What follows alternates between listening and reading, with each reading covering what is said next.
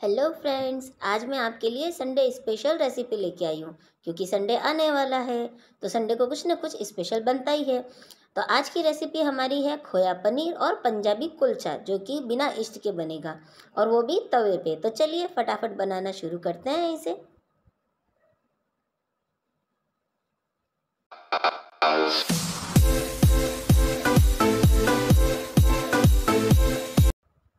तो सबसे पहले हम कुलचे का आटा लगाएँगे, उसके लिए मैंने मैदा ले लिया है।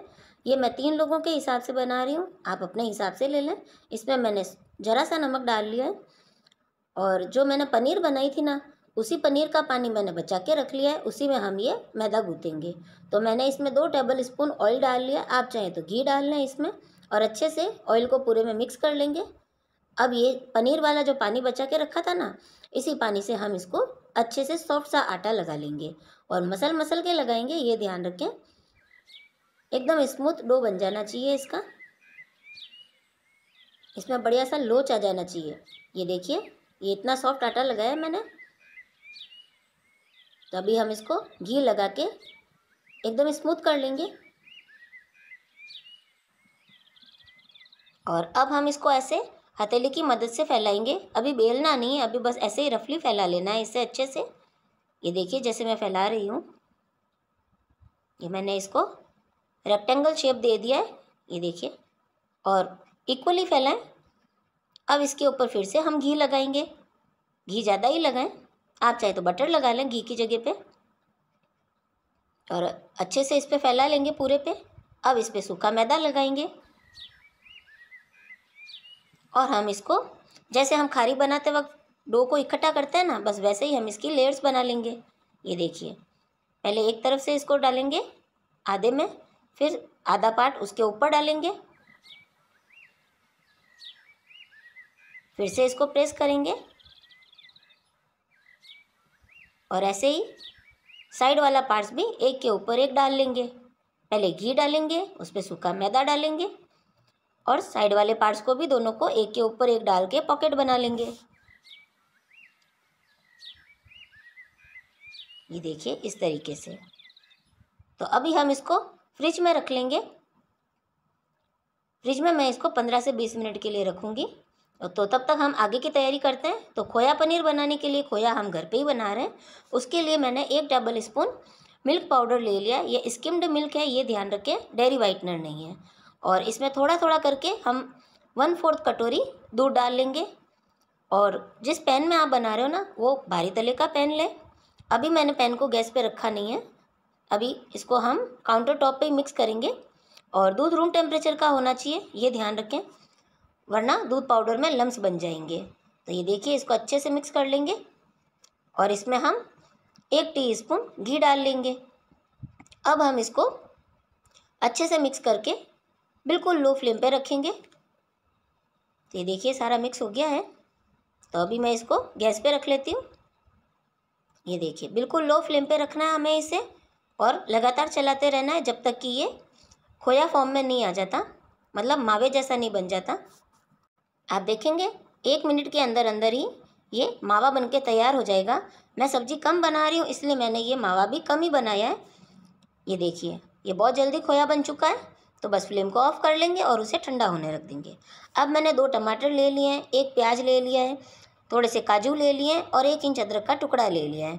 इसको मैंने पैन में डाल लिया और सारे मैंने डाइसेस में ही कट किए हैं, रफली कट किए हैं। अब इसमें मैंने ये सब डूब जाए, बस इतना पानी डाला है और स्वाद अनुसार हम इसमें नमक डाल लेंगे। नमक हम आगे भी काम लेंगे तो उसी हिसाब से डालें। अभी हम इसको बॉईल दिला लेंगे। बॉईल इतना दिलाना है कि टमाटर एकदम मैशी हो जाए, यानी उनके छिलके निकलने लग जाए। तो अब ये छिलके निकलने लग गए हैं तो अभी इसको ठंडा करके हम मिक्सी जार में डाल के इसका फाइन सा पेस्ट बना लेंगे और फिर हम इसको छलनी से छान लेंगे। ये मैंने पूरा छान लिया है। जो थोड़ा सा पनीर का पानी बचा हुआ था ना, वो भी इसमें मिक्स करके मैंने अच्छे से इसका पेस्ट बना लिया। और ये देखिए, ये गाढ़ा सा पेस्ट मिल गया हमें इसका। तब उसी पैन में मैंने एक बड़ा चम्मच ऑयल ले लिया है। उसमें हींग, जीरा, राई का तड़का दे दिया है। और मीडियम फ्लेम पे हमने जो अभी पेस्ट तैयार किया है ना, वो पेस्ट डाल लेंगे इस ऑयल में। तड़का दे देंगे और फ्लेम को मीडियम रखेंगे। अब हम इसमें स्वाद अनुसार नमक डालेंगे। एक टीस्पून लाल मिर्च पाउडर हाफ़ टी स्पून हल्दी पाउडर और एक टीस्पून धनिया पाउडर डाल लेंगे। अब इन्हें भी मिक्स कर लेंगे और तब तक पकाएँगे मीडियम टू लो फ्लेम पे जब तक कि ये ऑयल सेपरेट नहीं करने लगे। इसी के साथ मैं इसमें कसूरी मेथी डाल लूँगी। अब ऑयल सेपरेट होने तक पका लेंगे इसे। तो ये देखिए ऑयल सेपरेट होने लगा है। इस वक्त हम इसमें हमारा तैयार किया हुआ खोया डाल लेंगे। तो फ्रेंड्स अगर आपको रेसिपी पसंद आ रही हो तो इसे लाइक शेयर सब्सक्राइब करना ना भूलें। कमेंट करके भी बताएँ कौन सी सिटी से आप मेरा वीडियो देख रहे हैं। और अगर कोई रेसिपी देखना चाहते हैं तो वो भी बताएँ। मैं ज़रूर ट्राई करूँगी बनाने की। अब मैंने इसमें पनीर भी डाल ली है, जो मैंने कट करके रखी थी डाइसेस में, और उसको लगातार चलाते हुए दो मिनट तक पका लेंगे, और आखिर में हम इसमें गरम मसाला डाल लेंगे। तो ये हमारी सब्ज़ी तो तैयार है। अब हम कुलचे की तैयारी करते हैं। तो इसको मैंने पंद्रह मिनट बाद डो को फ्रिज में से निकाल लिया है। अब हम इसे वापस ऐसे ही हथेली की मदद से प्रेस करेंगे, और थोड़ा मोटा ही रखेंगे। या वीडियो में देख सकते हैं कितना मोटा रखा है मैंने। और इसको हम कट कर लेंगे। इसके मैंने तीन पार्ट कट किए हैं और अभी मैं आपको इसकी लेयर्स दिखाती हूँ, कितनी अच्छी लेयर्स बनी है इसमें। ये देखिए, कितनी ढेर सारी लेयर्स बनी है। तो तीन भाग को भी हम वापस चार भाग में कट कर लेंगे सेपरेटली। तो ये देखिए, ये हमें एक एक कुलचे का मिल जाएगा पार्ट और ये आप लेयर्स देख सकते हैं इनकी। तो अभी हम इसको हथेली की मदद से प्रेस करेंगे एक भाग को। जो चार भाग हमने कट किए ना, उनमें से एक भाग को और हल्का सा मोटा बेल लेंगे हम इसे। फिर इस पर हम पानी लगाएँगे एक भाग पे। तो जो हिस्सा पानी लगा हुआ है ना, उसको हम गरम गरम तवे पे डाल लेंगे। तवा एकदम गरम होना चाहिए, ये ध्यान रखें। और इसको डालने के बाद फ्लेम को मीडियम कर लें और मीडियम फ्लेम पे तवे को पलट के हम इसको दोनों तरफ़ से सेक लेंगे। तवे को घुमाते हुए चारों तरफ़ से सेक लें इसे। तो तीन भाग में से एक भाग से हमें चार कुलचे मिलेंगे। तो ये देखिए कितना अच्छा सीख गया हमारा कुलचा और कितना अच्छा फूला है, बिना इष्ट के भी। तो अभी हम इसको सर्व कर लेंगे। सर्व करते समय हम इसके ऊपर बटर या घी लगा लेंगे ढेर सारा। ये देखिए, मैं आपको इकट्ठा करके भी दिखाती हूँ, ये कितना कुरकुरा बना है और एकदम लेयरदार बना है। ये देखिए तो हम सब्ज़ी के साथ सर्व कर लेते हैं इसे।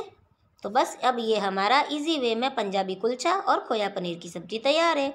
तो फ्रेंड्स, आपको ये रेसिपी कैसी लगी कमेंट करके बताना ना भूलें।